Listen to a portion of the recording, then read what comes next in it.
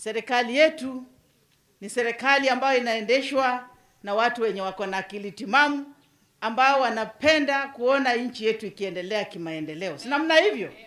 Mkiangalia huyu Adagala anataka aone upumbavu upumbavu.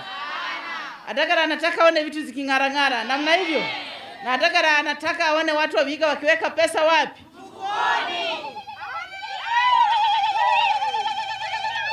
Na hiyo ndio kiini.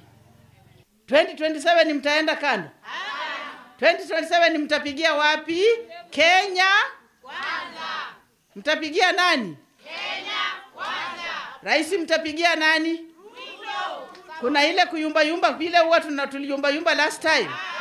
Kura yote ni ya Kenya kwanza, na hatutabadilika na hatutababaishwa, kwa sababu mnaona last time, last time hata mlikuwa mnaona mkikaa na kina county commission, si mmekaa na county commissioner hapa? Hiyo inamaanisha serikali iko nga ngangari. Tumekuja kuempower vikundi.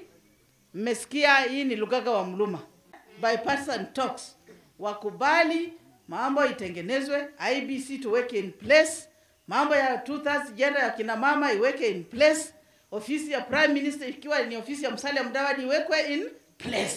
Si namna hivi? Hizo vitu tatu. Na mimi naona wengine wameanza kutembea hapa kuzunguka kwa matanga wakisema IMF na World Bank waki- wakiingia kwa hii ma, ma, maongeleo watagoma. Watagoma waende wapi?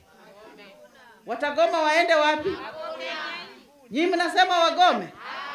Sisi tunataka amani ke Kenya, na sisi tuna support bipartisan talks, wamalize waweke hizo vitu tatu nimesema, na sisi tuendelee na maisha yetu. Si namna hivi? Si mlipiga kura kwa amani? Mlipiga kwa fujo? Mkapiga kwa amani na mkaweka William Samoe